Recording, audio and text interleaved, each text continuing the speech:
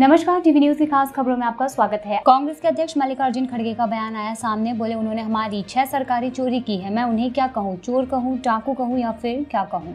ये तो डराते हैं। डरा धमका के हमारे कई लोगों को वो लेके चले गए लोग जो हमको चुने, चुन के दिए हमारे छह सरकारें, उन्होंने चोरी की। मध्य प्रदेश की चोरी की। कर्नाटक की चोरी की, महाराष्ट्र की चोरी की तो मैं क्या कहूँ?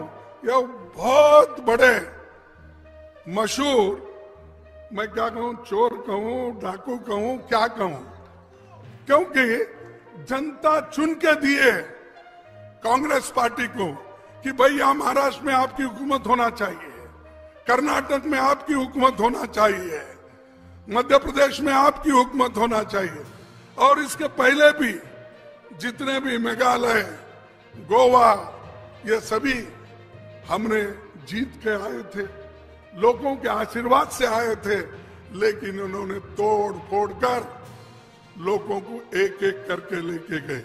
किसी को पैसे दिए, किसी को लालच दिखाया, किसी को ईडी का इनकम टैक्स का सीबीसी का, हर चीज़ का उनको डरा धमका के अपने तरफ़ ले। और भी खास खबरें जानने के लिए जुड़े रहें डीवी न्यूज़ में।